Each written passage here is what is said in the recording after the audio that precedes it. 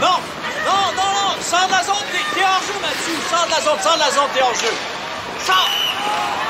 Changement, les gars. Changement.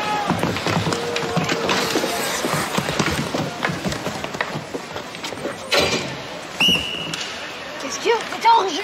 Faut que tu sortes! Eh, ouais, c'est beau, c'est beau, là. Je m'en occupe, là. Tiens, j'ai expliqué, Mathieu.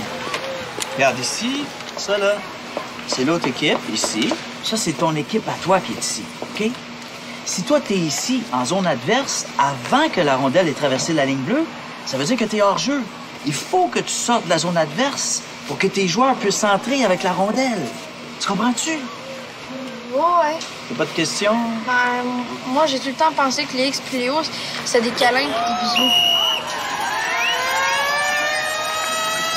Pas grave, c'est pas grave. C'est pas grave. On lâche pas. OK, on lâche pas.